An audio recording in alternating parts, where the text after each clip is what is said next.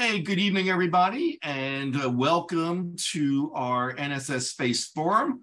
On behalf of Larry Ahern, Vice President of Chapters, I'm Bert Dicht, Managing Director of Membership, and we're glad you could join us for commercial LEO space stations uh, and the NASA Commercial LEO Destinations Program.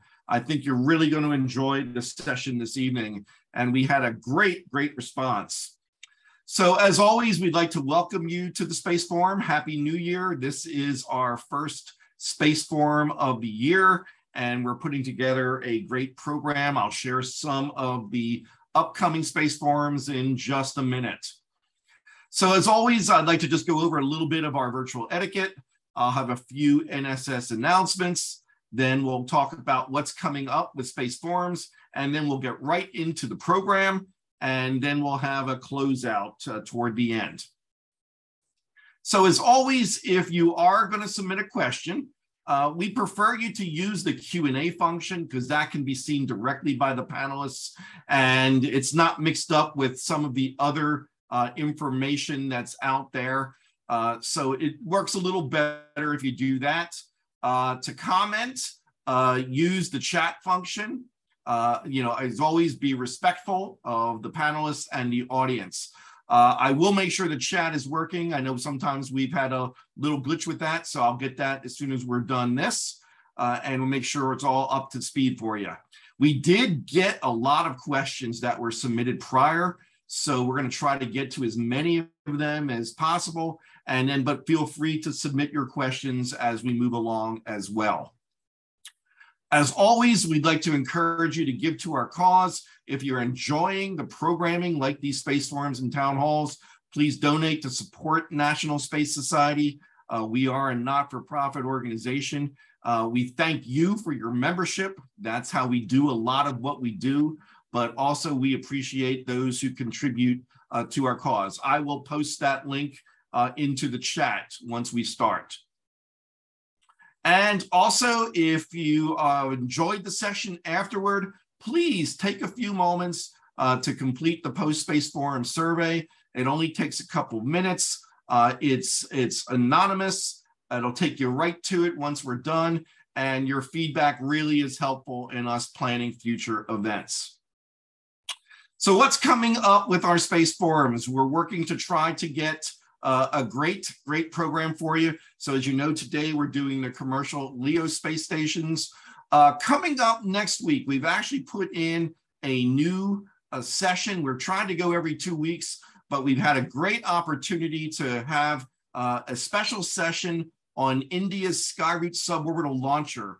Uh, the, India, of course, has a very, very vigorous space program. And this is a privately funded suborbital launcher that successfully launched uh, in November. So it'd be great to hear an additional perspective on that. Coming up two weeks from tonight, we have a session on space debris. February 9th, we've got 200 years of space tourism. Uh, on the 23rd, you'll be hearing from our Space Health Contest winner. Uh, March 9th, we've got Space for a Better World and March 23rd, Space Solar Power.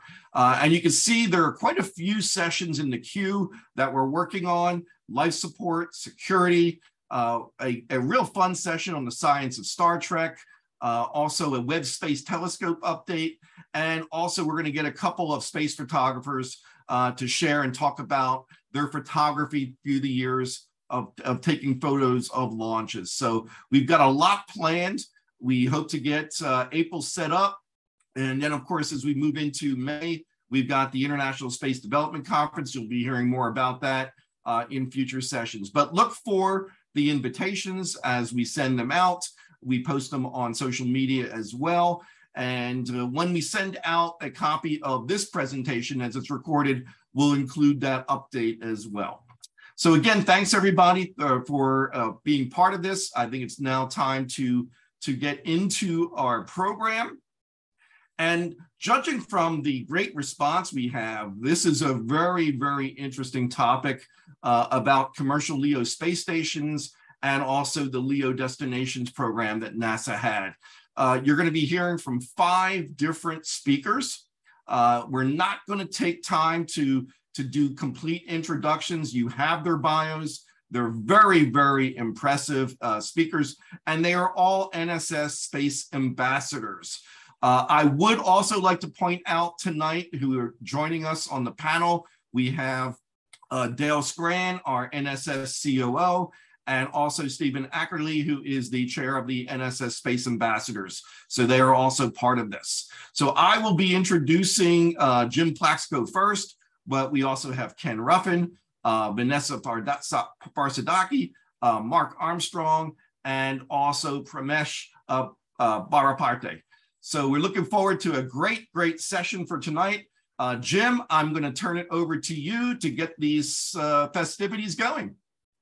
Great. Thank you very much, Bert. So let me do my screen share and hopefully everyone is seeing the NASA's Commercial LEO Destinations Program title slide. And just to start, uh, I'd like to say that the NASA Commercial LEO Destinations Program is really an excellent way for the US to move forward from the ISS program because while it meets NASA's needs, it simultaneously uh, is encouraging the development of a commercial LEO economy. So ISS has been supremely successful in advancing our ability to conduct sustained operations in outer space.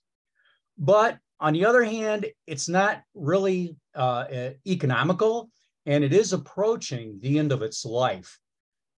ISS is set to terminate in 2030. The big question is how will NASA and the nation move forward from ISS and continue to move forward.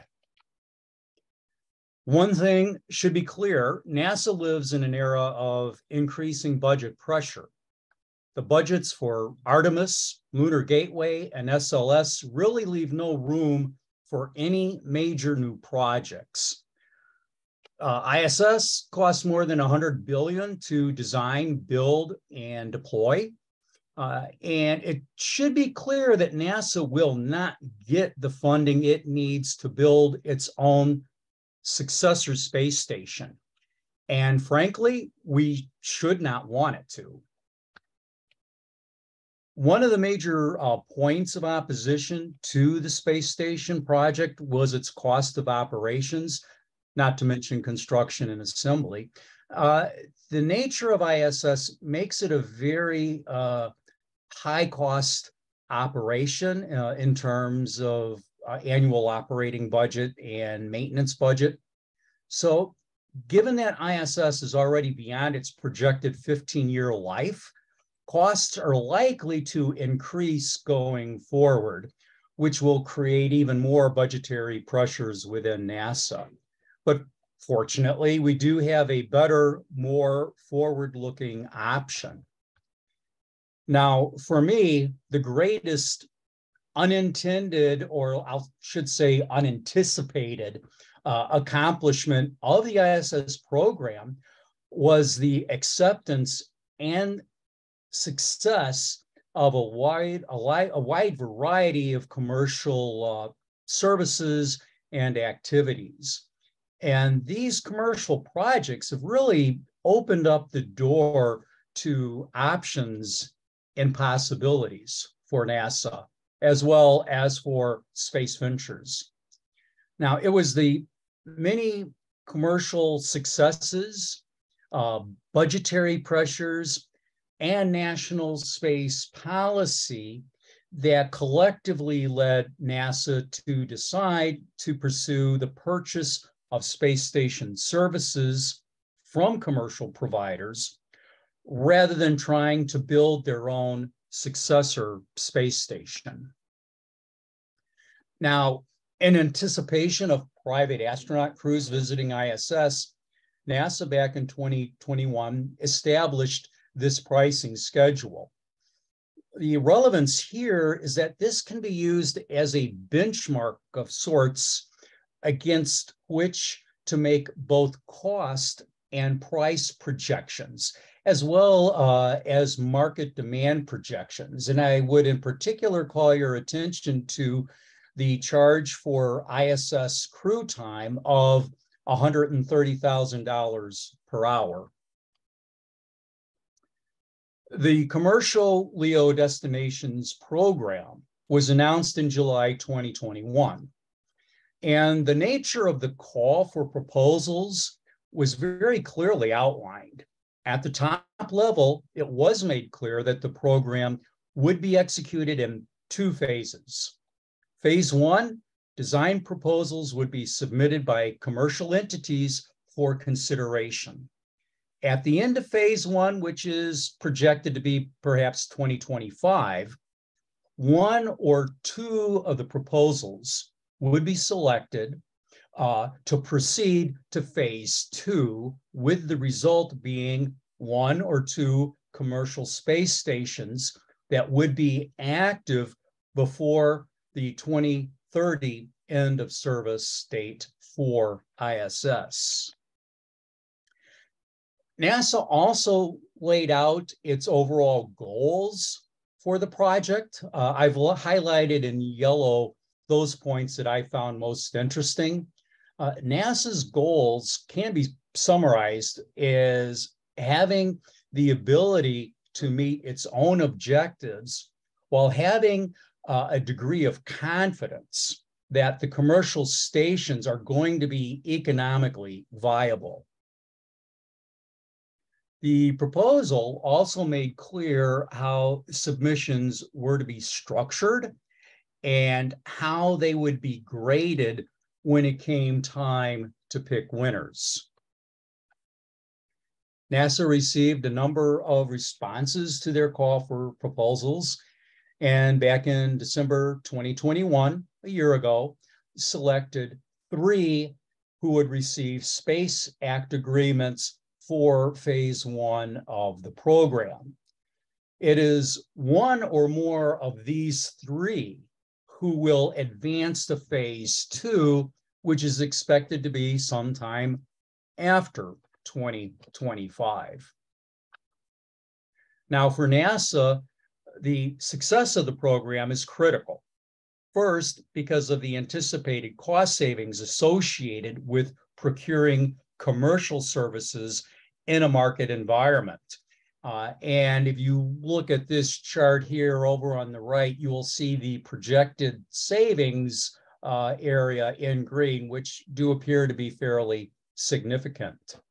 Second, because these platforms will be the replacement for ISS, which is what serves as NASA's technology testbed and as an ongoing experiment for human presence in space, these platforms are really uh, essential to NASA being able to continue to fulfill its mission.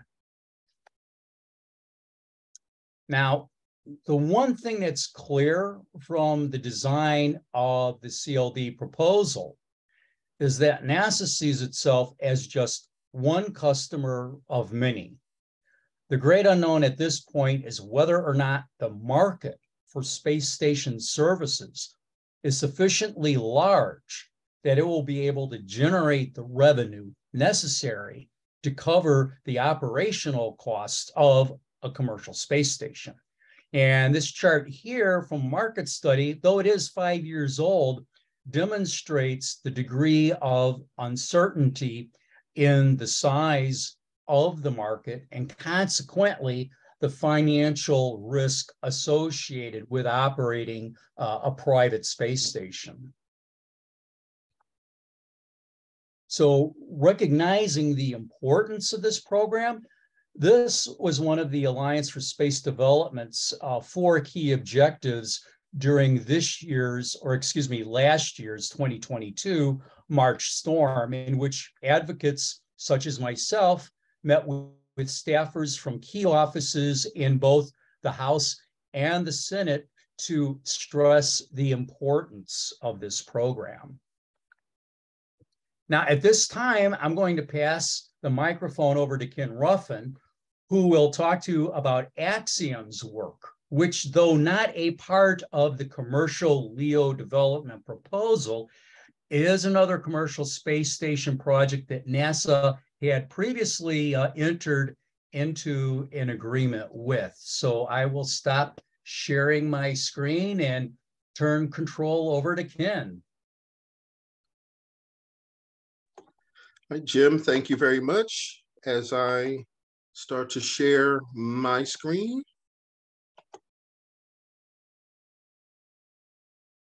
And just a moment.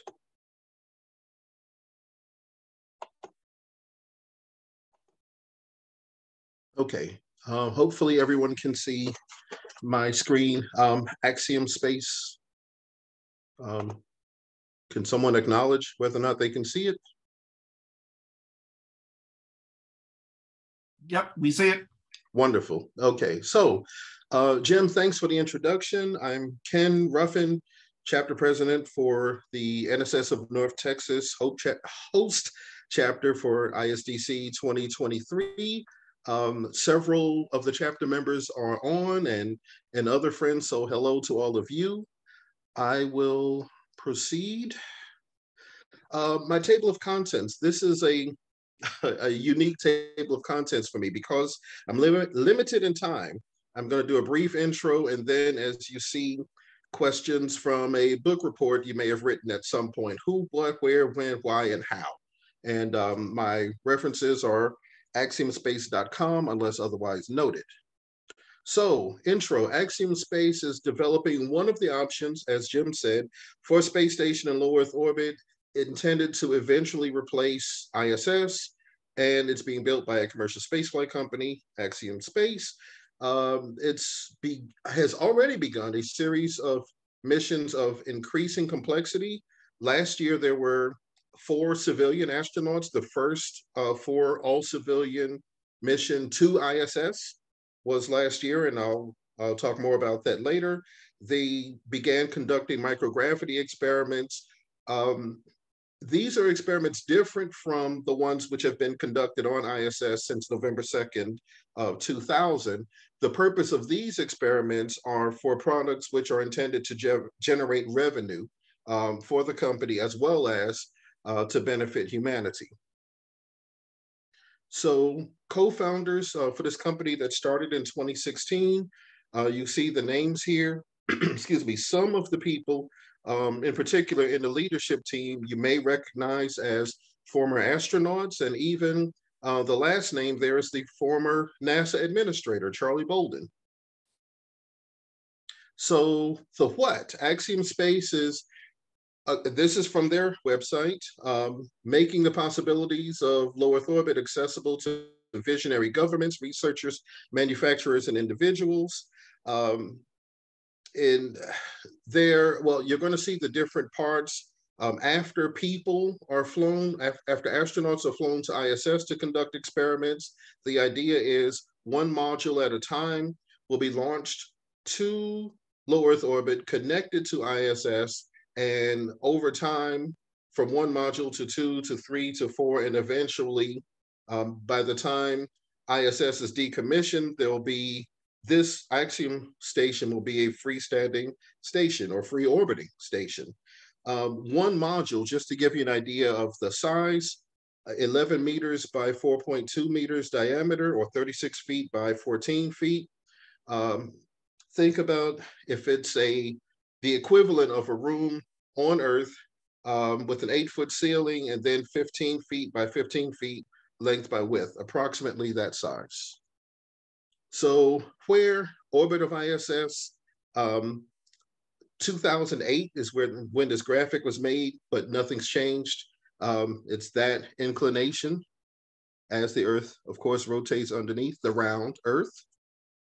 Uh, when I mentioned the four civilian astronauts one is a former NASA astronaut, but these um, four gentlemen were launched to ISS on a Falcon 9 rocket Crew Dragon capsule, the Axiom Mission 1, back on March 30th of 2022. And photo from inside the Crew Dragon. Um, Axiom Mission 2 is scheduled for May of 2023. Peggy Whitson, former NASA astronaut, is the commander, former shuttle commander. Um, and John Shoffner is a pilot, and there are two other um, Axiom astronauts to be announced. And of course, it's a uh, Crew Dragon, like I said, on the Falcon 9s launching from Launch Complex 39A at Kennedy Space Center. So conductive, conduct extensive research, as I mentioned. Uh, Axiom Mission 3 is scheduled for December of 2023. None of those Axiom astronauts have been announced yet. You see the cost, $52 million uh, for an eight-day mission to ISS. I think there's 52 million per person. Now, I mentioned the modules. This is AXH1. This is Axiom Habitat 1 um, graphics, of course, scheduled to launch in 2024. This will um, house four astronauts, again, connected to ISS initially. And here's a photo of the interior, thanks to a suggestion from, I believe it was Jim Plaxco to add some interior photos. Um, and interior design by the French de designer, uh, Philippe Starck. And if there are any uh, Marvel Studios fans, you might not be surprised that it was a Stark that had a hand in this.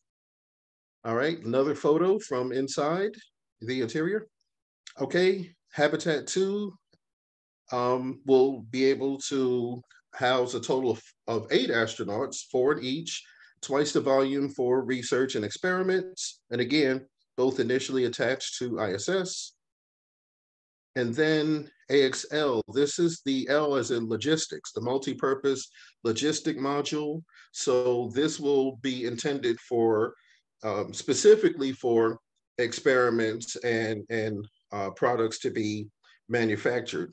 Um, and I'll mention it later, uh, additive manufacturing, 3D printing, and more.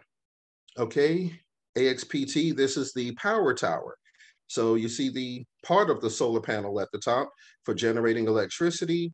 Um, the idea is that this would generate an equivalent amount of electricity that ISS currently generates, which is about 205 kilowatts of electricity, about 205,000 watts and the complete Axiom station uh, by 2028, which is at least one of the tentative dates that I've heard for the retirement of ISS. So it's to be determined. So here's the timeline showing starting from ISS on the left to the Axiom station in 2028 um, on the right. So why? I, I, this is from their site. Axiom Space believes microgravity is the most promising environment for innovation and problem solving since the internet. Humanity's next step starts with Axiom Space, their website. And uh, this is the manufacturer of, of those um, Axiom modules, certainly at least the first two. And they're designed to be launched, and I, have got to thank my fellow panelists for this. Um, these modules are designed to be launched by any of a variety of rockets currently capable or very soon to be capable of launching uh, payloads to low Earth orbit, payloads of the mass of one of these modules. And I mentioned additive manufacturing. Um, what I found the most fascinating about these Axiom experiments is the idea of 3D printing human organs in microgravity, um, which they can be uh, printed more, um, I guess, more efficiently, more accurately in microgravity than they can on Earth, um, using the, the donor patient's own tissues, which minimizes the risk of rejection of that organ. So something certainly to look forward to. Uh, something else really fascinating is this um, experiment that uh, where the idea is that structures would automatically configure themselves or reconfigure themselves into different shapes. In this particular image, uh, different shapes in Mars orbit with the Earth in the background, not necessarily that close, that could be a problem. And that's my last slide. So thank you very much. I will stop sharing.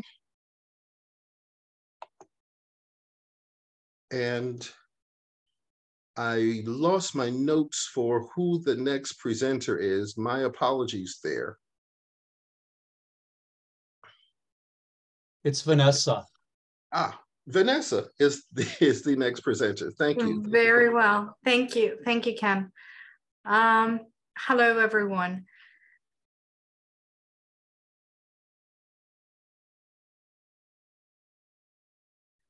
So let's go ahead and share.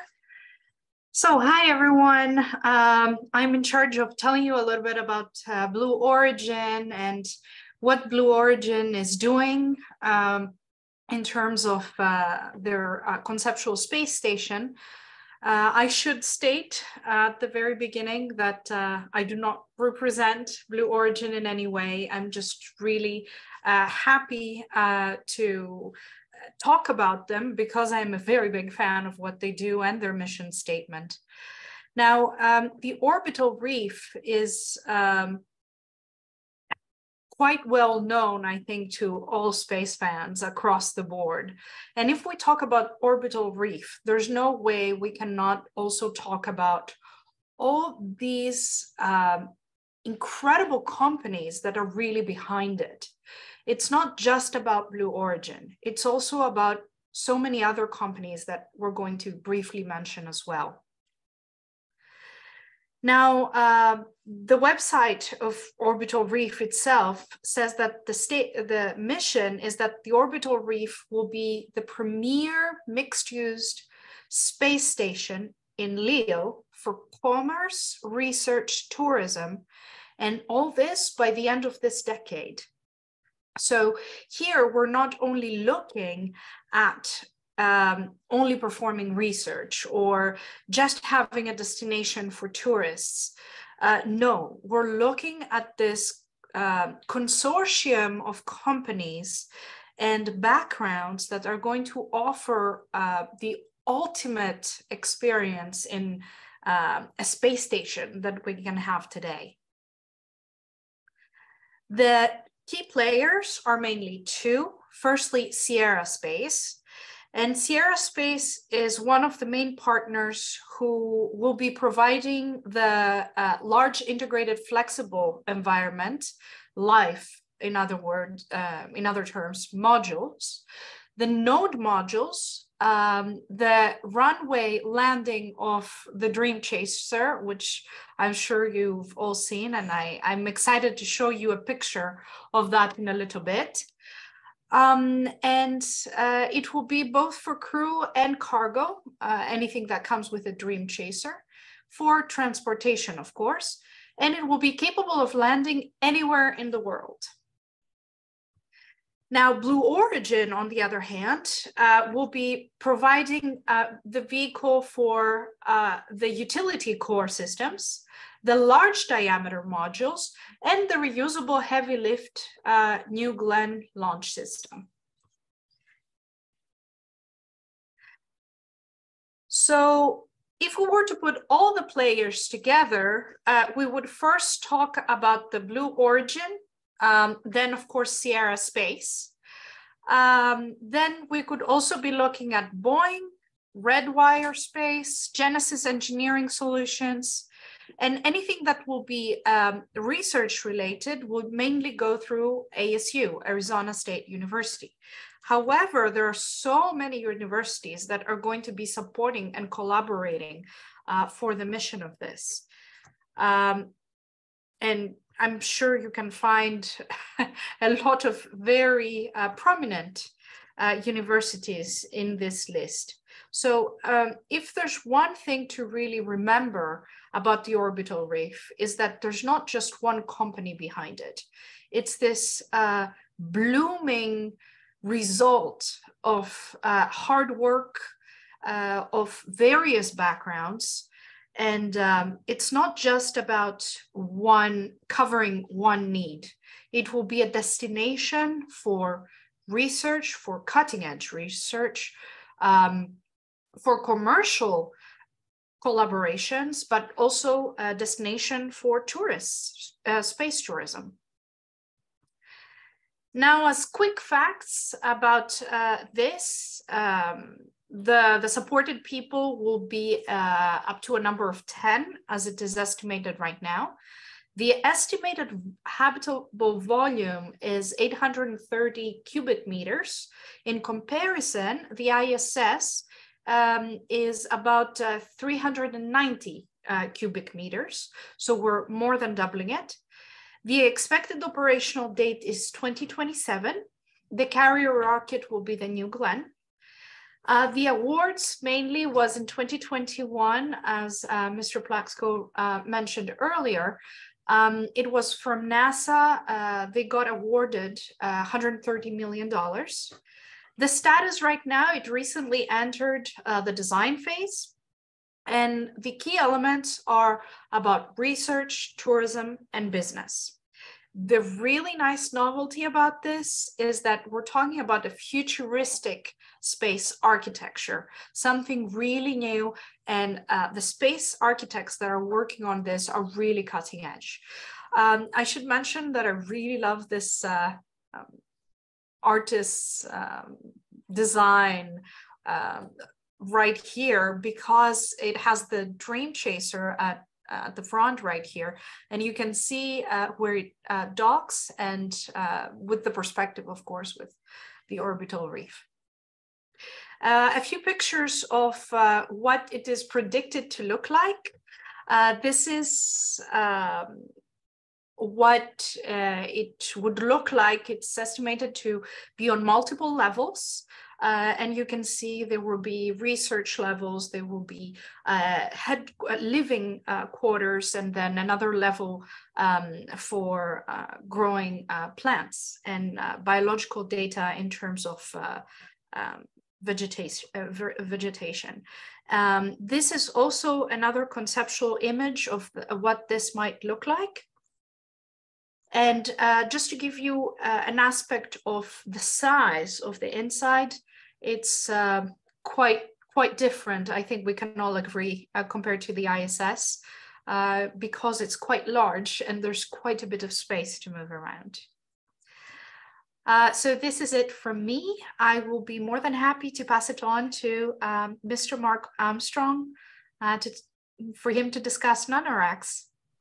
Thanks, Vanessa. How are you doing? And I really appreciate your presentation. It was very nice. I'm going to share my screen now and bring up a slideshow that I've prepared for you regarding NanoRacks and Voyager Space Holdings. Now, NanoRacks began operation in 2009. In 2019, the firm was brought into Voyager Space Holdings, CEO of which is Dylan Taylor, who's recognized as, I guess you'd say, a super angel investor in space development. Their $160 million funding from NASA has been the largest award in NASA's commercial LEO development program. The founder of NanoRacks, Jeffrey Manber, um, served starting as a CEO from the first day, and he's been involved in the, quite a number of different uh, contributions to space development across uh, a wide range, large territory, from Russia back to the United States, the low Earth orbit, he is one of the pioneers that is most recognized in space development. What NanoRacks has already done in low Earth orbit has had a great deal of impact. They developed the uh, Bishop airlock, which increased the capacity of uh, oh, CubeSat launches and other operations to launch from the space station by a factor of five.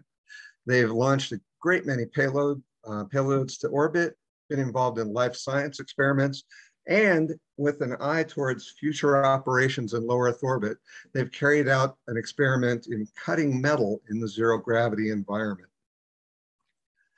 They were recognized by the IAF for the, um, for the creation of the Bishop airlock.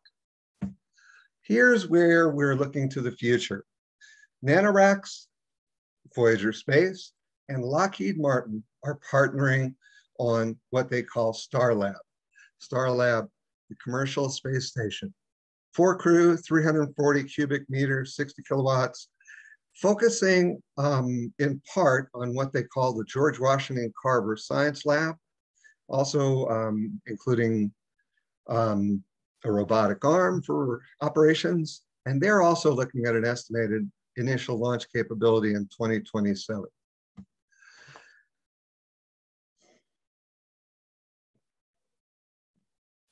So NanoRacks has been working towards, you know, a private or commercial space station basically since day one. Um, I think like many others, and uh, looking at quotes like this is a reminder of how many people have been interested in commercial space station development. And it may seem, it kind of seems to me that NASA has picked the right time to, um, to support these developments. Voyager Space uh, CEO Taylor actually sees strong market opportunities, although there are many others that question whether that's the case. Um, they expect to begin manufacturing their first module in the third quarter of this year, and quote unquote, about a year to bending metal. One of the partners that they brought in just this last fall is Hilton. Hilton Hotels has signed on to design their astronaut facilities and also to explore the question of marketing astronaut experiences and stays aboard the, um, the Starlab. This is the first uh, kind of partnership of this kind. Um, and uh, although uh, it's long been a passion of Hilton, Conrad Hilton uh, actually had people exploring the question of uh, the first hotel on the moon all the way back in the 60s, the first orbital hotel some years ago. Um, so I think Hilton has been a long time looking forward to taking part in space operations, hospitality in space. I mentioned the George Washington Carver Science Park. Um, NanoRacks has been involved in life science experiments on the ISS and is looking forward to developing that further on Starlab, working with a number of different partners.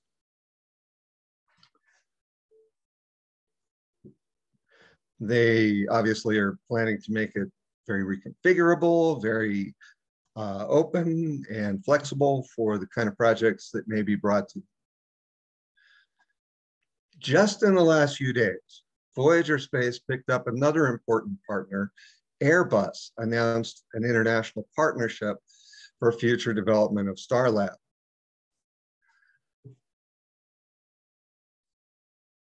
Here's the Vice President of Space Systems at Airbus commenting on how important this partnership is from their point of view.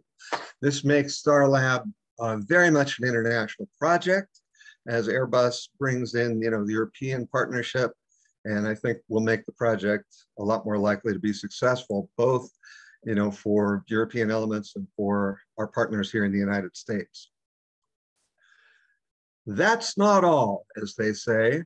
NanoRacks is also working on what they call the outpost, commercial platforms in orbit making use of wasted boosters, boosters that reach orbit being turned into useful uh, payloads by adding a bus system to achieve a great many flexible purposes for different kinds of uh, different kinds of customers. So imagine a future where an empty fuel tank or a booster can come back to life after completing its primary mission. No longer just space debris floating around in low Earth orbit, but now a facility for manufacturing, servicing, greenhouse, and more. Infrastructure as a service in the modern business sense. And this is, I think, kind of a sidebar to NanoRack's other project working with the NASA grant infrastructure as a service, sustainability and debris mitigation at the same time. So NanoRacks kind of has a plan A and a plan B for low Earth orbit. And my guess is that both of them are going to be very successful in the years to come. Now I'm going to turn it along over to Prathmesh and thank you very much for your time. Thank you so much, Mark. Um, I will, it was an excellent presentation and I will be going ahead and sharing my screen. Um, can you can you stop presenting? Mark, you need to stop sharing. Right. Thank you.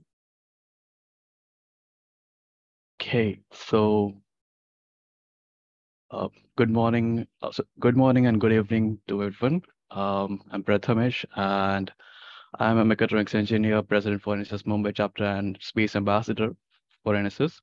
Uh, I'll be discussing more about Northrop Grumman's commercial space station, although they haven't named it uh, just like Axiom or anyone else.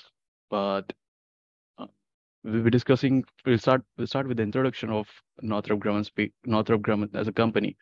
So Northrop Grumman is a leading global defense aerospace and has been uh, currently uh, developing a commercial space station. The space station,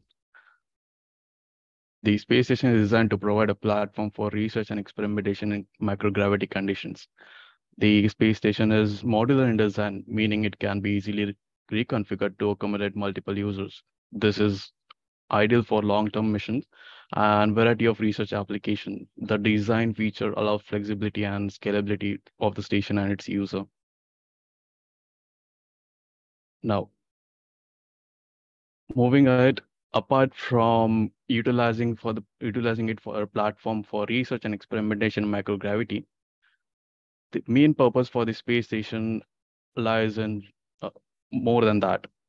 They have various aspects which they are focusing on, and few of them which they listed on their website is is more on habitation services, which allows people to work in work and live in space. Orbital manufacturing, which enables building in space, laboratory facilities for research, which helps in conducting disco discoveries in space, space tourism, which allows people to visit space, uh, educate and train, which helps in creating impactful message and shared space. This diversification in the use of the space station opens up various opportunities for different industries and field to conduct research live and work in space, and even open up space tourism for people. The facility, um, the facility they are providing as size and capacity, Northrop Grumman Space Station is smaller in size compared to the ISS. It is planned.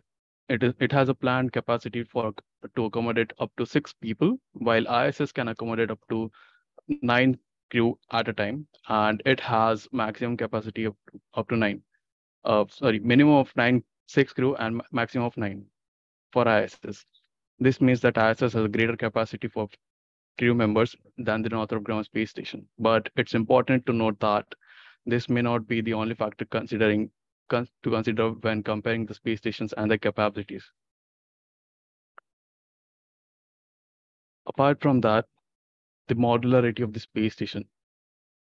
Uh, it is designed to be modular, meaning it can be easily reconfigured by adding and removing modules as needed. This allows for greater flex flexibility and the potential to expand our or modify the facility as needed. The ISS is modular in design, but it's less flexible in terms of adding or removing modules. This means the Northrop Grumman space station has flexibility to adapt and change as per the requirement, while the ISS is limited to limited in this aspect. Location of the space location of the commercial space station from Northrop Grumman. The Northrop Grumman space station is planned to be located in low Earth orbit, while the ISS is located in higher orbit. The difference in location could potentially impact the types of research that can be conducted on each, each facility. For example, the lower orbit of the Northrop Grumman space station may provide more opportunity for observing the Earth's surface, while the higher orbit of the ISS may be better suited for studying the effects of long-term space travel on the human body coming towards the timeline, it, uh, Northrop Grumman started planning the development for the commercial space station in early 20s. Uh, then they are expected to complete the early development work by late 2025 and the production for the stage one to end by late 2028. By 2030, they uh, after right after the parallel transition from ISS, the stage one is, is supposed to be in transition it's supposed to be in operation. And parallelly, uh, there will be demos in ISS orbit for Cygnus spacecraft, as well as uh, they are additionally they are also supplying Halo development modules to, for the Artemis missions. The stage one services. Stage one services, uh, they are providing a number of services like accommodating up to four permanent crew member for the stage one. The station will provide flexibility in terms of crew rotation schedule. Crew accommodation will include amenities for food, hygiene, medical needs, exercises, and essentials.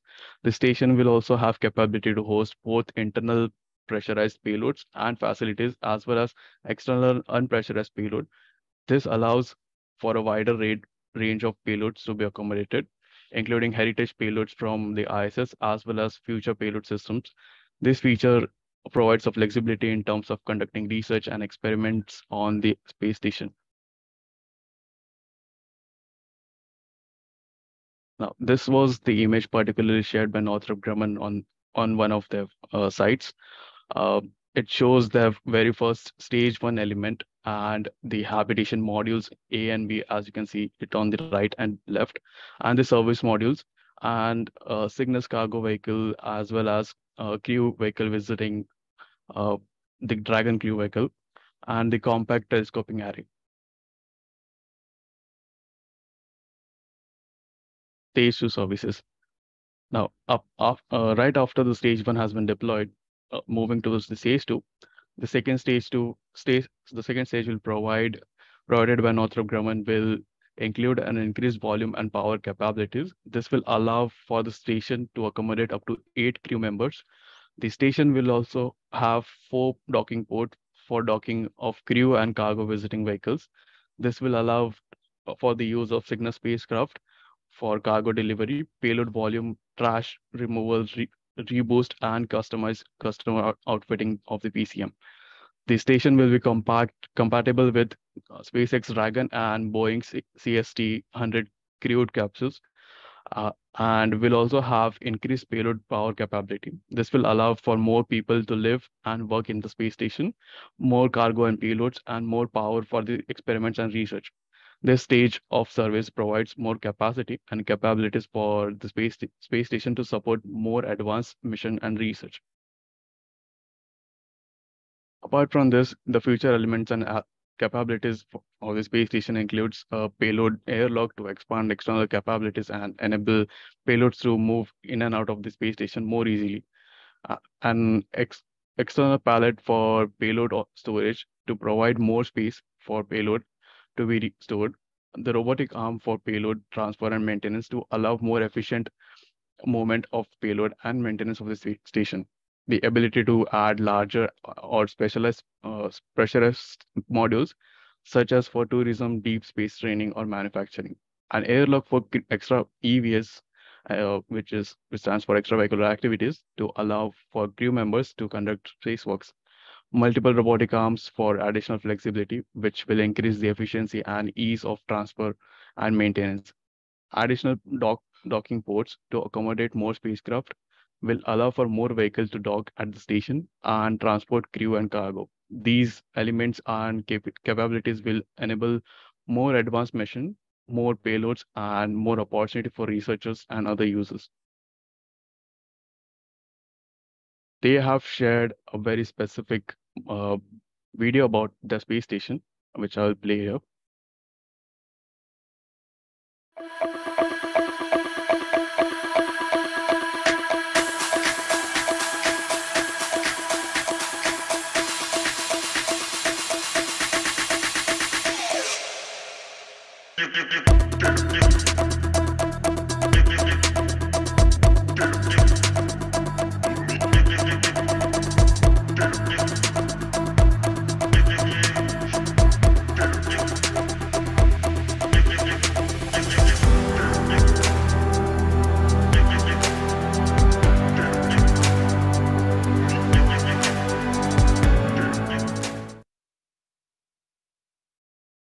That's it from end. I would like to pass this stage and hand over the stage to or, and the platform to Bert.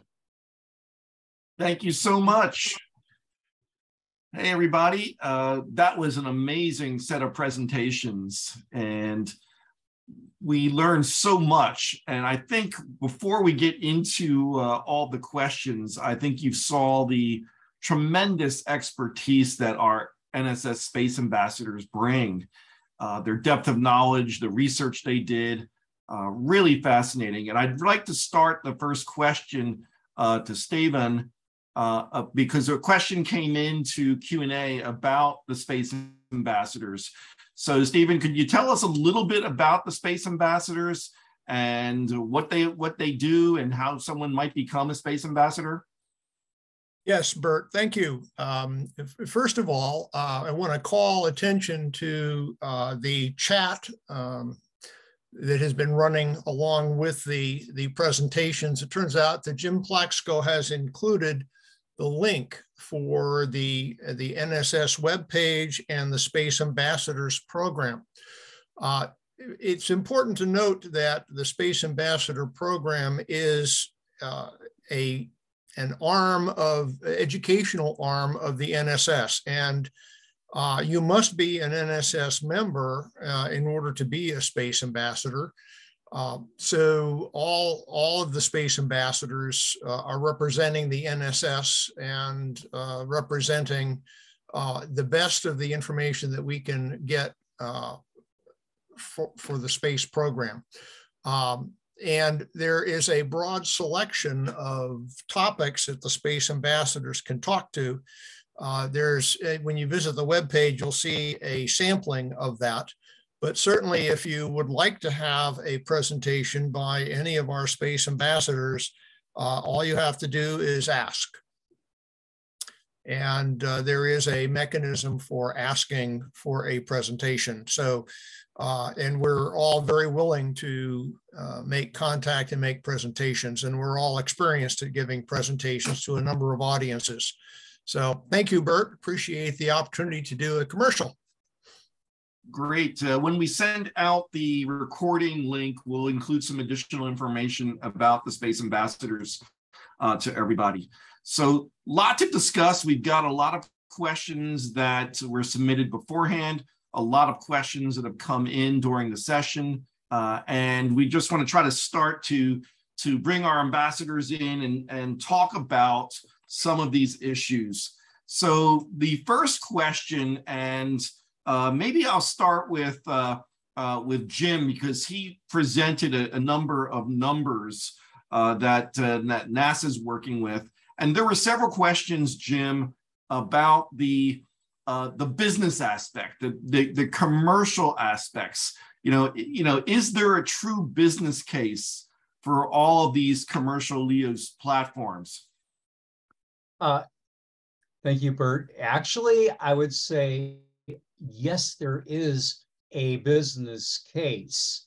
The challenge is given the demand models, and there's something called price elasticity. Uh, how much will the size of the demand be impacted by the prices that the stations have to charge to cover their annual operating costs, as well as being able to uh, retroactively cover their development costs, as well as being able to pay back with interest uh, the money that they had to borrow in order to fund construction uh, of their stations. And where it gets really kind of tricky is with respect to the fact that right now we see a lot of uh, excitement for the development and deployment of commercial space stations. How many space stations uh, can the market support? And bear in mind, and this ties into one of the questions, that all of these stations uh, in order to qualify for phase two, there is a long list of NASA expectations or requirements that they will have to meet. So that's going to put some constraints on uh, how flexible they can be with design. For example, uh, the objective slide was they want permanent human habitation that's great for space tourism, but is that really the best thing for a station that needs a very quiet microgravity environment for either UG research or if they're doing some type of space-based manufacturing operation, uh, a free flyer might be a better uh, solution uh, in that vein. So, and again, the price for private astronaut missions. So it remains to be seen um, whether or not the stations can be deployed at a, a sufficiently low development cost and have really streamlined uh, operations and maintenance to keep that cost down. Like for one of the space station problems is astronaut time is very expensive and very limited. The astronauts spend a lot of their time just taking care of the space station. Commercial operators are going to have to flip that on its head such that they spend most of their time doing actual productive work and very little time cleaning house. That's a really important distinction. I see that uh, our Dale has raised his hand. Dale, did you want to add something to that? No, I want to argue with uh, one point Jim made that um, he, he was talking about uh, borrowing money, and I think a widespread misunderstanding uh, that people have about these kinds of projects uh, with startup companies is that the money is, I mean, sometimes it's borrowed, but rarely is it borrowed. It's equity financing. Axiom is getting equity financing, and the people putting in the money are not expecting interest payments. They own a part of Axiom. And they're basically taking a flyer on the idea that 10 years from now, Axiom will be worth a lot of money and they can sell their stock the way SpaceX could potentially sell stock in SpaceX, which is now a $100 billion company. And, you know, so that, that means that there's a lot of pressure to have a big payout in the long run, but in the short run, you're not paying interest. That you know, you just have to produce. You have to do what's called value creation. You have to demonstrate that in each round of funding, what you've done is worth more than it was, and that means that every round of funding you have to add value for the, your investors. And you know, it's a tricky thing, and not everybody succeeds. But uh, that's my little uh, entrepreneurship lecture. Over. Thanks, Dale. Uh, let me get into uh, the next question because we have quite a few of them. Uh, this one I can open up to any of the ambassadors. Uh, it came from uh, some of our uh, legal representation within NSS. And obviously, when you're building a building on planet Earth, there are building codes involved. Now, obviously, NASA's responsible for building a space station. You know, they're a government entity, but some of these private companies that maybe are doing things on their own, how is it all going to be regulated? What kind of uh, rules and guidelines will they follow for the construction of these of these space stations? Uh, so I don't know. Any one of our ambassadors want to try to tackle that question? In the uh, proposals document, there are a couple of NASA manuals that they reference uh, that have, uh, let's say, engineering expectations uh, that because they don't want to put ast- a NASA astronaut at risk. So they have, let's say, I'll, I'll call it a set of parameters that are expected uh, to serve as guides for uh, the commercial designers.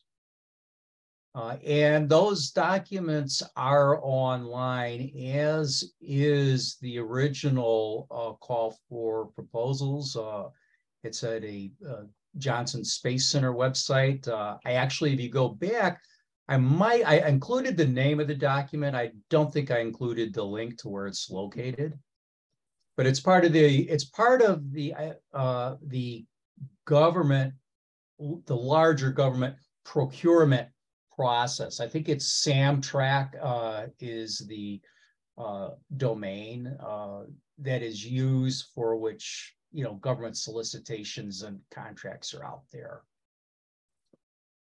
Great, thanks, Jim. Anyone else want to add to that? Yeah, and Bert, I think I'd like to, to just comment that since NASA has provided seed money, to, to Jim's point, uh, NASA has a series of expectations that they're going to require uh, for these commercial space stations if they're going to use them. Now, the, the question comes uh, as we become smarter about building space stations in space, uh, what what will evolve? What additional requirements and, and uh, other learning will, will occur? So uh, we have a start, we have some experience, but it's going to expand. Thank you. Great. I know that right now on the International Space Station, there's that issue with the Soyuz spacecraft with its coolant leak.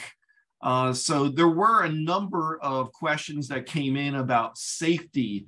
And uh, for the ambassadors who talked about the different uh, programs from the different companies, uh, what did you see about uh, incorporating safety to make sure that these are, uh, you know, safe places for people to operate, whether they are tourists or professional astronauts?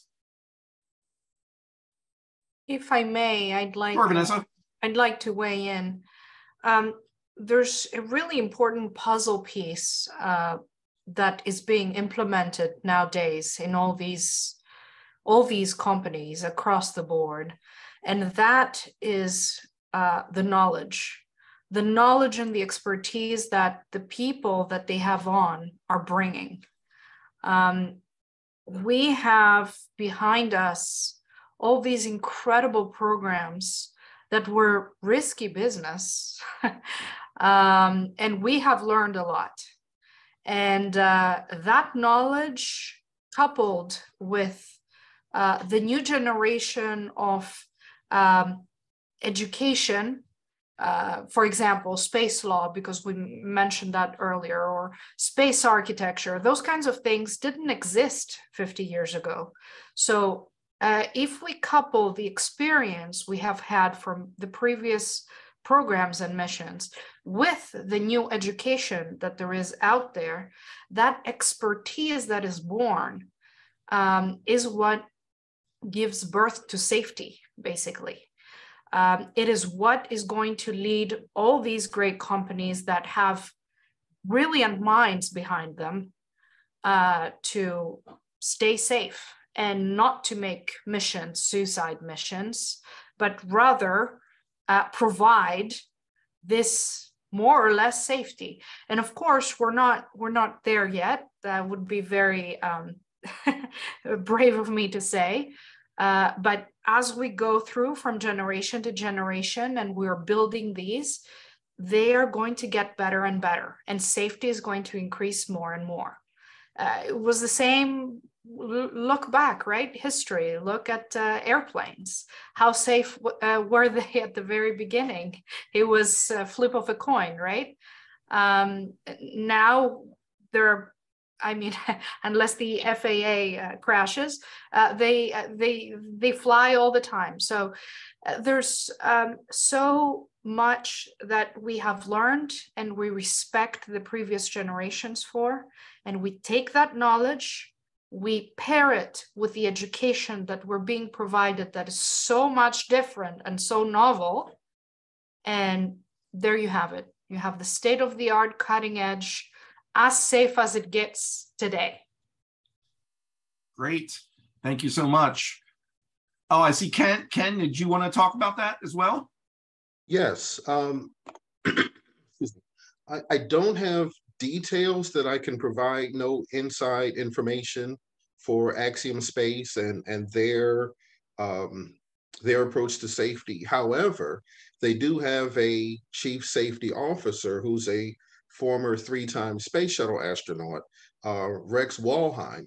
So someone who, you know, certainly has been in space, someone whose life depended on um, engineers doing their jobs, whether it's with the the rocket, with uh, with the shuttle in that case, um, with um, ISS, he was on the last mission to ISS. Um, so the launch to IS, staying on ISS, and the return to Earth. So I would think just because of the of the fact that you know he's not someone who who would just be you know here on Earth all his life researching and and so on and so forth, but someone who's actually lived that risk. Um, for what it's worth, that just gives me a little confidence that you know whatever whatever it is they end up doing, whatever decisions they make, uh, will be based on that learned experience, not just from him, but the other astronauts that are leaders of their company as well. Thanks, Ken. Anyone else like to add on that, or I'll go on to the next question? Let me do that then. Uh, in many of your presentations, you shared some of those uh, internal views of what these stations will look like. And they look a, obviously a lot different than the ISS, which looks like it, it's everything's in there, including the kitchen sink. When you look at some of those uh, in, interior shots of the ISS, uh, how are the designers uh, approaching these new concepts. They're obviously the cases, uh, and it maybe in a way it touches on what what Jim said about uh, turning the turning around that uh, they can't spend all their time uh, manage, managing the space station. They have to do work, but these interiors are actually designed to make them look more like homes in a sense. Uh, and maybe you could all comment on what you saw in terms of these and how designers are approaching this. Anyone want to tackle that one? oh, um, Ken? Um, actually, Mark and Prathmesh had their hands up. Oh, did they? So... I did not see that. Okay, great. Uh, Mark, you want to go first? Well, they're very pretty, but it seems a little unrealistic to me to expect all the piping, all the wiring to be hidden behind bulkheads. I mean, it's it's a nice picture, but you know, you got to be able to reach things very quickly when a problem arises. That excellent point. Prathmesh? Um, I did realize that the entire modules are probably flex. They are focusing more on the flexibility part and they were designed based on what they have experienced utilizing Cygnus spacecraft while sharing payloads to ISS back and forth. I mean, the exterior models do look like for the Northrop Grumman space station. which look like inspired from the Cygnus spacecraft. Great, thank you so much. Let me take a few questions uh, from the audience that were submitted uh, tonight. Uh, there is a question. I know. I know they were answered by some of our panelists uh, in writing, but just to uh, have everyone understand what was said or what was asked. Carl asked, was there any coordination or will there be any coordination and cooperation uh, between the different companies? And I know Vanessa, you you answered that. I don't know if you'd like to just uh, expand on that.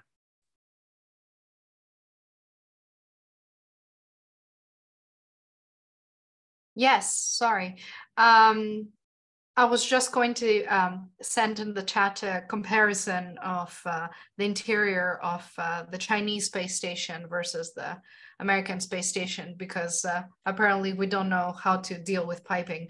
Um, so uh, yes, there is a collaboration. I thought that question was um, sent exactly the moment uh, we were talking about orbital reef. So I think uh, the question was uh, for the orbital reef. Um, and then the yes, the, the answer is absolutely.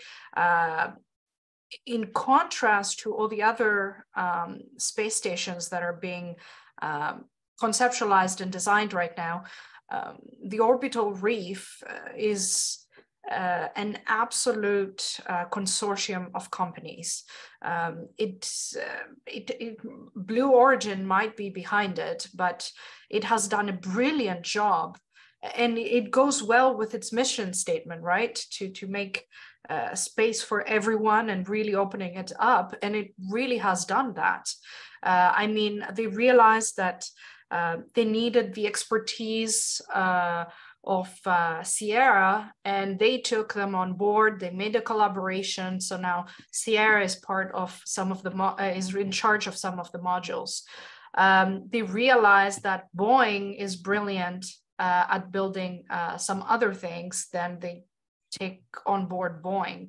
Uh, they knew that New Glenn was not sufficient and uh, the coupling with the Dream Chaser was brilliant. So they signed that on. So it's really, and, and, then you have all the, the research that goes behind it and all the proposals that are going behind it that are not just um, for engineering. Uh, they're how do plants grow in space kind of questions that uh, the orbital reef is willing to look at. And they're already um, bringing on board uh, groups from labs from universities all around the world. So it's not just uh, commercial collaborations. Let's just sign a piece of paper and make sure you have the wrench that I need and I have the wrench that you need. This is a lot bigger. It is international. It involves all kinds of backgrounds and it really will, will bring what space is all about um, collaboration. So, yes, they do collaborate. Great. There were a couple of questions that were submitted beforehand, and also I saw tonight uh, about the life support systems that are going to be used. And I'd like to tie that into a question about uh, you know lessons learned. Uh, you know, the ISS has been occupied for 22, going on 23 years now, and I'm sure there are a lot of things that have been learned by uh, this long-term occupation of the International Space Station. So, uh, in in any of these designs that you've seen, uh, how do you see the technology advancing in terms of life support? How do you see the technology advancing in terms of, well, we talked about safety, but I, I, I think those are really important issues uh, if you're going to maintain uh, a presence in each of these space stations. Anybody want to try that one? Ooh, I scared everybody away. Well, the fact that you have multiple uh, yep. Go ahead. Yeah, I was, I was, going to say that um, I think what we're going to see initially is um, uh, the extension of the current life support systems used on the International Space Station. However, uh, there, there is a large community of, of people that are very interested in uh, the closed loop, loop life support systems. And you saw some evidence of that in some of the presentation slides where you saw vegetation growing on racks along the walls. This is, this is actually a very critical point uh, as we go further into space because we need to take a lot of life with us. We are dependent on life and whether we like to admit it or not, some of the life that we depend on is microscopic. And we need to provide an environment that is extremely supportive of all of that life if we're going to thrive and survive in space. So uh, that work is, is ongoing and is extremely important, in my opinion. Thanks, Stephen a couple questions talked about our goals to go to, to, back to the moon and to Mars. How does this LEO work uh, connect, if at all, to the intent to go to the moon and to Mars? Well, uh, Bert, I have uh, a thought about that, uh, and I believe that um, NASA has also laid out uh, an interesting uh, executive summary called the Moon to Mars Executive Summary uh, Objectives. And in, in that particular summary, they talk about stepping stones or milestones of, of progressing further and further off into space. And I think one of the things that I was particularly happy to see is that NASA is saying we need to test the hardware going to the to Mars on the moon before we go to Mars. Uh, and that's a very important point. And the, the, the space stations that we're building are actually going to be stepping stones to that same hardware. We're, we're, we're basically taking baby steps, if you will, initially, but those same modules and capabilities will ultimately evolve into both lunar modules, both on the surface and in orbit around the moon, and ultimately uh, for the, the Mars uh, exercises. So uh, I, I think there is a romantic opinion about Mars being uh, very, very much like Earth. And I'm sorry to say that's not true. Mars is more like the moon than Earth.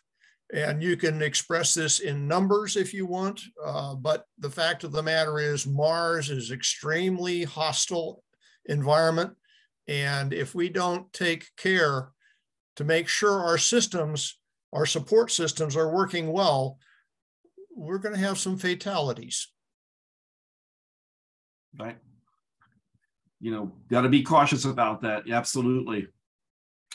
Uh, everybody, it's about uh, 10 16 Eastern time right now.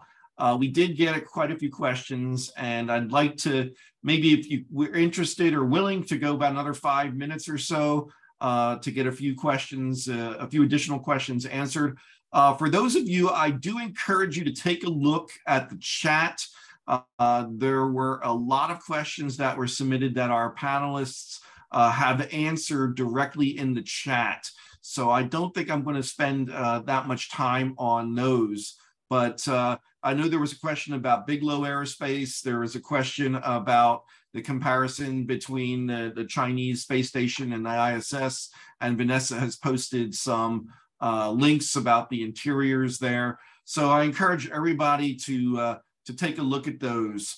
But I did want to uh, ask a question that uh, was asked a, a, number of times in the submitted questions uh, about artificial gravity and, and are there plans at all to do anything with artificial gravity, such as spinning the space station or even testing out the concept of it uh, so I don't know if anyone would like to try to answer that question. Uh, within the framework of the commercial LEO destinations project, I haven't heard that any of the those participants are uh, talking about uh, artificial gravity uh, aspects to their station, but that is certainly uh, something for which there is interest. There was supposed to be a variable gravity centrifuge uh, installed on ISS, for which there was a great deal of scientific interest. But at the end of the day, it was axed for budgetary reasons. So within this particular framework, uh, no, but if you go on to inside NSS, uh, there is one of our members posted a story therein uh, to a separate commercial space station project. Uh, I, and I believe the name is VAST. Um, that that is their plan to create uh, an artificial gravity uh, space station. I forget who uh, posted it on the platform, but I would encourage NSS members to, you know, sign in to Inside NSS and you know see what's there and share your discoveries about space. Great. Thanks, Jim. I see Larry and Stephen have their hands raised. Are they uh, related to this topic question or is it another question? Uh, related to this question. Okay. Just a, a quick word about the uh, the current level of understanding uh, and experience is based on the International Space Station experience. However, uh, as Jim was pointing out, there is a lot of interest in artificial gravity systems in the future but I would observe that it's a more challenging design uh, activity than what we currently have experience with. So uh, some additional work needs to be done uh, on proving just exactly how we want to do the structure of a rotating, large rotating space structure. Um, there, there are some issues about um, maintaining structural integrity that are critical. So we will we will get there uh, eventually. The question is is how long will it take? Great, thank you. Larry, is your question re related to this or? Yes, uh, yeah, like I, uh, like I said, rotating, I, uh, one of the things that got me interested in space is uh, 60 years ago, people remember 60 years ago, the movie 2001 came out. And the thing is, uh, having uh, uh, these people walking around in the space station uh, up there. Also, I, I kind of think going up to the space station using Pan Am was a kind of a cool gimmick. And I says, and the guy making a phone call using AT&T on the thing. These are routine things that we should be seeing right now, but we don't. Great. Let's see. I see hands from Dale and Mark. Dale? Yeah, I wrote an answer to the artificial gravity can't answer, but it got eaten somehow by the system. Uh, there are at least three companies uh, who have more or less serious plans to build artificial gravity stations. The one that I like the best is Vast. They have a website. Uh, they have a fund, a funder who has two and a half billion dollars. They have 50 SpaceX engineers. They're already testing the reaction control system to rotate the station. They're intending clearly from the design to use modules that have been launched on Starship. Um, so I take them pretty seriously. I, I wonder about their business plan a little bit, but that's a long story. There's another company called Grav- Gravitics, uh, which looks to have a serious uh, proposal or idea. And now, whether they have money or not, I don't really know. And then there's uh, Orbital Assembly, which I think definitely has less money, but they certainly have thoughts. So I mean, people are trying, but I I I honestly I you know I you have to take Vast seriously. They probably have more money to spend than any of the companies talked about tonight.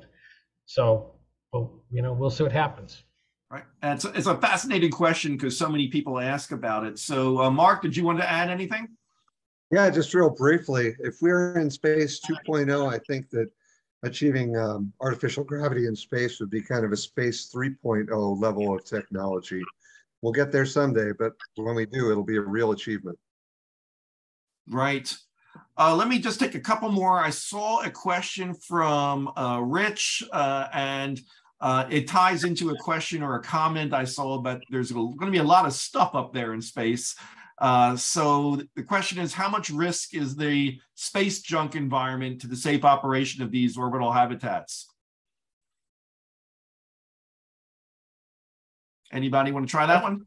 I would say there's a relationship between the risk and the maneuverability of the stations uh, and the amount of time uh, in terms of advance warning time that they would require for anything. And the other risk would be as more items get deployed, that increases the uh, quantity of things that have to be tracked. And then it's a question of whether or not our existing systems are up to the task of tracking, plotting, uh, and then providing uh, alerts. Uh, we've got a real world example just the other day with the FAA uh, NOTAM system, whose purpose is to before a plane takes off, it tells the pilots, okay, here are what the hazards are.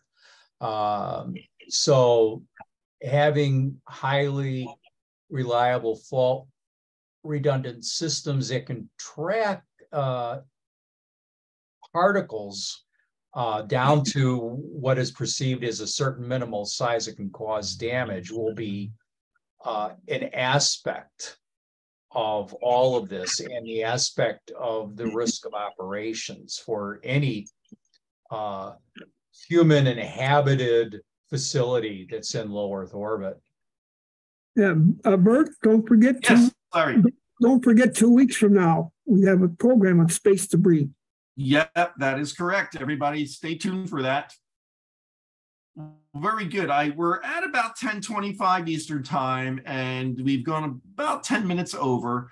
So I I think it's time to close things out. I do encourage everybody to take another look at everything through the chat. I will save the, the chat uh, so that uh, we have it for for later. Uh, but a lot of great comments uh, in there, and also the uh, the Q and A. Our panelists uh, did just an amazing job answering the questions, and and I believe you can see the answered questions as well. So so take a look at all those. Uh, obviously, it, this has been a really interesting topic, uh, and I just want to thank uh, our presenters tonight. Uh, so first, thanking Stephen for Uh, all the great work uh, for the for the uh, space ambassadors, and Jim and Prathmesh, Ken, Vanessa, Mark. really great job. It, it, it, we really enjoyed it. There was just so much information you shared. And uh, I did get one question. Uh, I know we're going to be sharing the the the recording, but uh, are you all interested, willing to share your copies of your presentation or not? You can let me know afterward, uh, and we certainly we can we can include that when we send out the uh, information because with such great great stuff there. So again, thank you for for this. We we would like to invite you back again to do something another topic it was so good so so we appreciate that uh, obviously on behalf of my other colleagues uh, fred becker uh, who does the logistics for our space forums thank you fred and larry my colleague uh, who helps us uh, organize all of these speakers and topics that we have in the space forums thank you larry and I, I want to give a shout out to our coo Dale Skran uh, for joining us this evening. Uh, it's been a very, very enjoyable session. Uh, what I'd like to do now is just share my screen one last time uh, as we close things out. And we had interesting uh, participation from, I think, about seven different countries tonight, including Brazil, Zambia, India, Canada, China, uh, the UK, uh, so it really was a great international representation. So thanking again our ambassadors for their great job. And uh, for all of those of you who attended, uh, for those in our time zone, have a great evening. For those in tomorrow's time zone, and have a great day ahead. And of course, we're heading into the weekend. Enjoy. I encourage everybody to stay safe. We will see you again next week uh, for this present uh, the special presentation uh, on India's private uh, suborbital rocket. And then in two weeks, as Larry said, for uh, a space debris presentation. And we'll make sure you get all the information coming up. So again, everybody, thank you so much. We look forward to seeing you again soon.